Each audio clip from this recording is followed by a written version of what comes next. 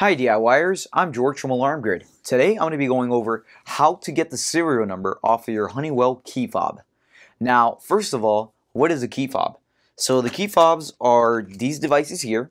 Usually you see these uh, linked into your, like your car keys, your house keys, and you use these to arm and disarm your security system. Today I'm going to be showing you guys how to arm and disarm a, and experimenting with the Honeywell Lyric system. Um, so first of all, uh, there's a whole bunch of different manufacturers of key fobs. Today we're touching on just Honeywell's. Um, and normally, whenever you guys get the key fob, whether you're actually buying it brand new or it's being passed down to you from a house that you're moving into that had an, an existing system, most key fobs will actually have the serial number on a sticker on the back. If you look at this 5834, you should see the sticker on the back.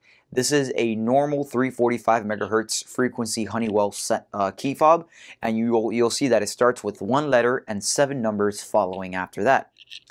The next device that I have is the SiXFOB. If you look at the back of the SiXFOB, it also has a sticker. It's 16 hexadecimal, eh, so it has different letters and different numbers. And eh, if you look at the back, you'll see the sticker. That'll be the easiest way to find the serial number on most of these sensors. Now, most of you guys may have gotten sensors where the sticker was already peeled off.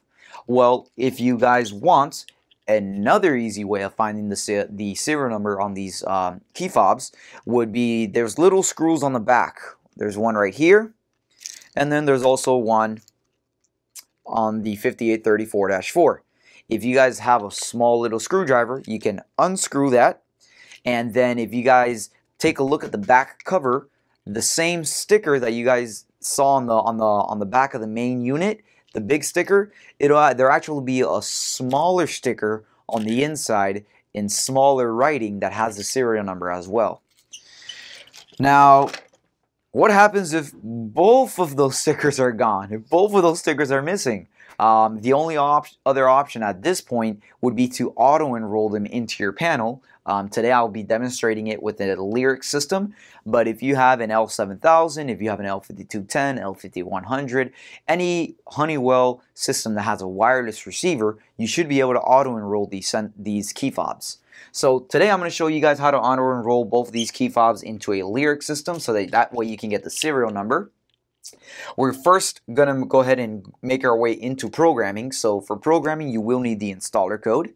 Uh, mine is defaulted at 4112. So I hit security. I'm going to make my way over to tools. And like I said, mine is defaulted at 4112.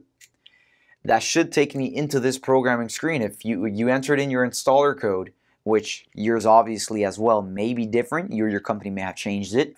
But if you're entering the code and you're not taken to this screen um, where you have a programming option on your panel, then you're, you didn't use the correct code. All right, so make sure you have the installer code. After you enter in the installer code, you hit program. Now, normally when we're adding in wireless devices, we go to zones. But today, key fobs actually have their own section.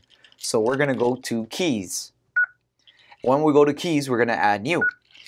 Now, when we add new, we hit serial number. We have to put the panel into a listening mode.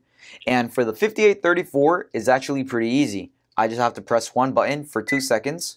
The panel beeps. I have to do this a total of three times.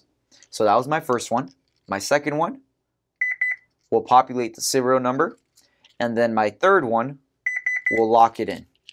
Now I have my serial number 00104888 if we look back at the back of the 5834-4, you'll see that the serial number says A0010488. The number, or I'm sorry, the letter will not come up on the serial number screen for a normal 5834 device. If you guys are using the 6 fob, which is the one that only works on the lyric that, that's fully encrypted and hexadecimal, those letters will show up and I'll show you that in a second. So now that we've uh, auto-populated the serial number, you can go ahead and match them up.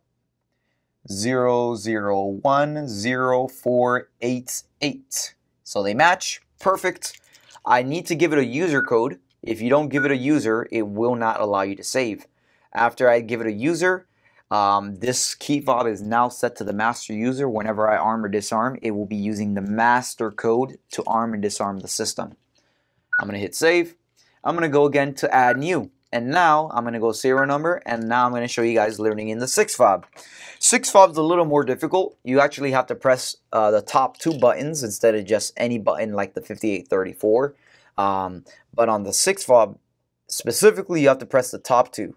So the little check mark with the shield and the shield with the line running across it. I'm going to press and hold. The lights start blinking. I'm going to go ahead and release it. And usually it'll auto-populate. Sometimes if you're too close, it does cause an issue. I'm going to back away a little bit. The lights will start blinking back and forth between each one. And then since the panel's in listening mode, it should pick up on the 6 signal. Now again, just to confirm, these letters are actually pretty skinny on this one.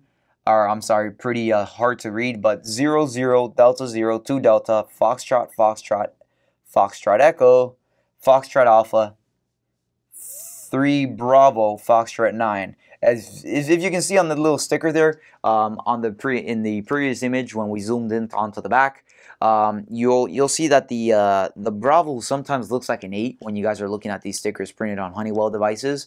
So make sure that you guys distinguish what an 8 and what a, what a B as in Bravo looks like. Um, but basically, it auto-populated. That's also a benefit of auto-enrolling. You don't make mistakes like that. It actually picks up on the signal on its own, populates the serial number on its own. Um, I'm just going to go ahead and hit done.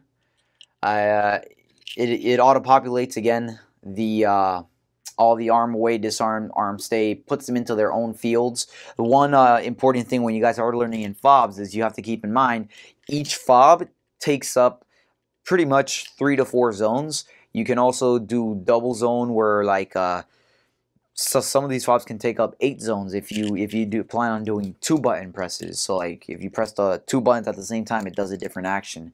So there's a lot of different things you can do with these fobs, but they do take up multiple zones. Each button is a different zone. So that's something to keep in mind. And again, if you don't give it a user, you try to hit save, the panel will say missing serial number a user. It's not the serial number we're missing, we have that, so it's just missing the user. Again, I'm just going to leave it as master. I'll hit save. I'll hit the back arrow key We've now auto-populated. We've gotten the serial number um, off of the key fobs. If you want to confirm that they actually work, I can go ahead and arm away. Armed away. Exit now. I can disarm with the SiXFOB. Disarmed. Ready to arm. I, Time. I can arm stay with the SiXFOB. Armed stay. And I can disarm with the Honeywell key fob. Remember, both these key fobs right now, they're using the master user code to arm disarm, so they're always sending that master user code down to the panel. Um, so that's pretty much the easiest way to find serial numbers on the on the key fobs. You either have a sticker on the back, you have the sticker on the inside, you just need a little screwdriver to remove that small screw, pull it away, or you can auto-populate them the same way we just did when we uh, programmed these key fobs pretty quickly into the Lyric system. If you guys have any questions at all about the key fobs, feel free to send us an email to support at alarmgrid.com. If you found the video helpful, make sure that you hit like underneath, uh, subscribe to the YouTube channel, and also hit the little bell icon to enable notifications so when we upload new content, you guys get notified. I'm Jorge, and I'll see you guys next time.